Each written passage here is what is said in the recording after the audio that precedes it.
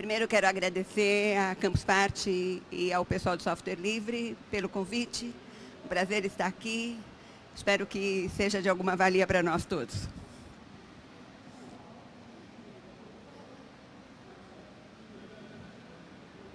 Com software livre, você pode.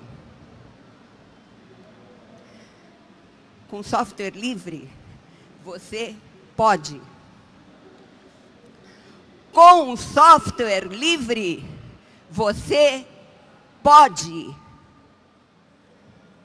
Vocês já estão cansados de ouvir que não pode? Que a licença não permite? Que o sistema não é esse? Que o programa não roda? Que não sei o quê? Que na prática você não pode. Você não pode ver. Você não pode ouvir. Você não pode escrever você não pode falar.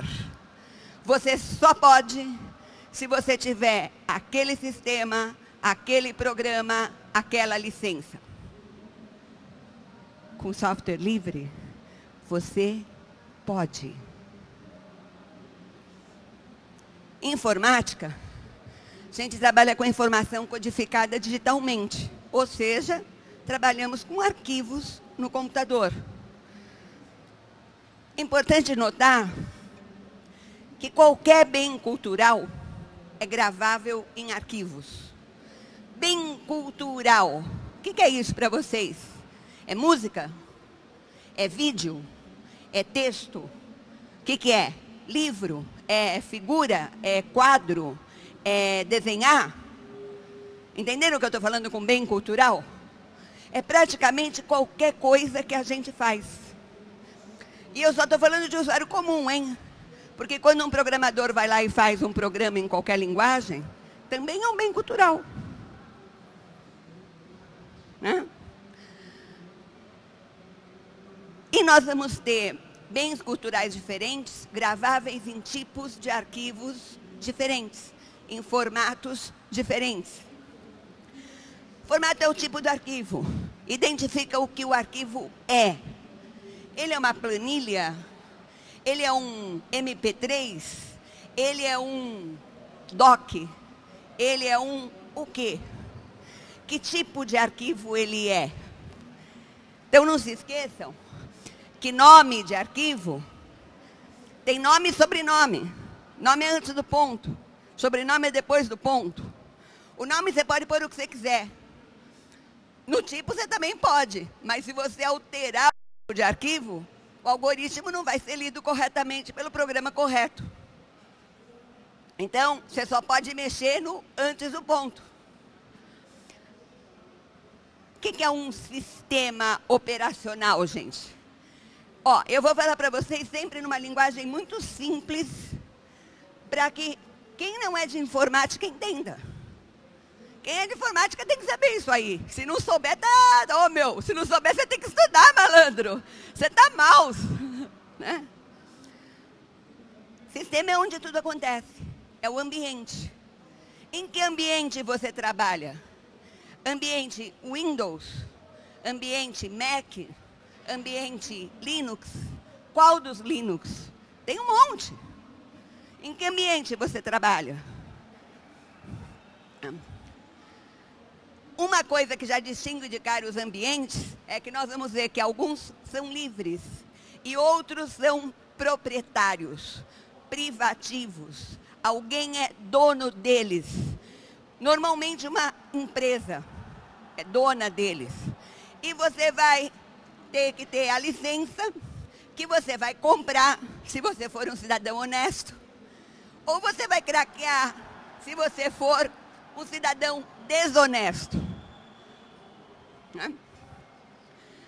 O que, é um programa dentro de um sistema? Eu odiava essa palavra aí. É uma ferramenta. Por que, é uma ferramenta? Ó, o que, que eu quero fazer agora? Ver um vídeo? Eu preciso de um visualizador de vídeo. Não adianta nada eu ter um visualizador de texto só agora. Ele não resolve o meu problema.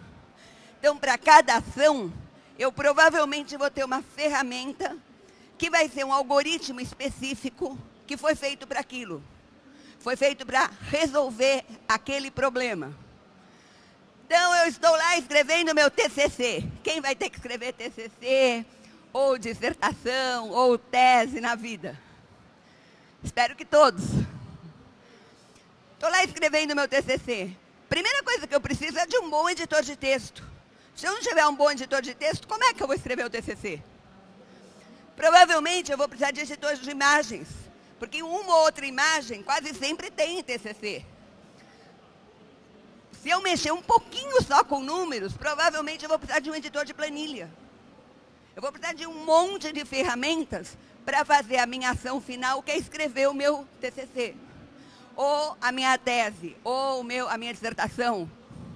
Ou, se eu for uma poetisa, um monte de poemas para o mundo. Né?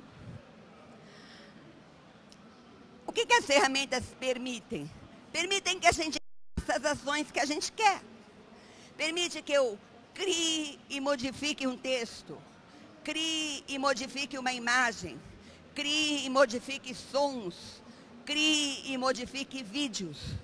Então nós vamos ter que ter, dentro de um sistema, um monte de ferramentas. Vamos ter que aprender a usar literalmente um monte de tipos de programas diferentes. Muitas opções vão ser semelhantes? Muitas opções vão ter a mesma cara? Sim. Muitas vão ter caras bem específicas? Sim. Quando eu tiver exatamente no ponto de maior importância daquele programa. Se ele é um editor de planilhas, e se eu for mexer com fórmulas matemáticas, vou ter que dar um jeito de saber mexer com essas fórmulas dentro do programa. Senão, eu não sei, eu não domino o programa. Não.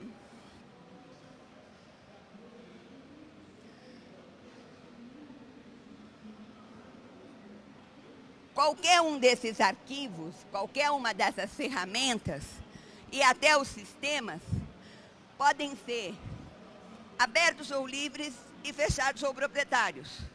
Que raio é um arquivo aberto? É baseado em padrões abertos. É desenvolvido de forma transparente, de modo coletivo. Suas especificações estão totalmente documentadas. Se alguém quiser aprender, pode está aberto, é possível. Você pode olhar, você pode ver como foi feito, você pode ver o programa.